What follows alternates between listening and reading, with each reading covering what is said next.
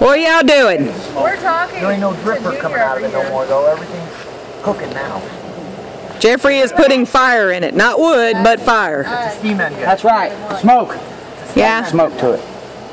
little smoke. Smoking. Steam engine. That's We what- smoking. that's not what I mean. Yeah. We smoke. It's the best pork ever. Smoking six hours later. Smoking. Still. We'll, we'll eat sometime, There you go. When I start smoking, but it'll be good. After six hours of smoking. smoker, Marcy. See, senor. Elizabeth is torturing me. How's that? We're just talking to him about his feelings. Oh, you gotta share your feelings. Uh, share, let it out. Chill. Let it go. Let it go. Can't hold it back anymore. Down. And I was like, well, I need this thing. Hey, And it, it looks pretty straight. I'm actually recording, David. Take I wanted So yeah, that's poor Fanta. from the burn Son, son. in right there with.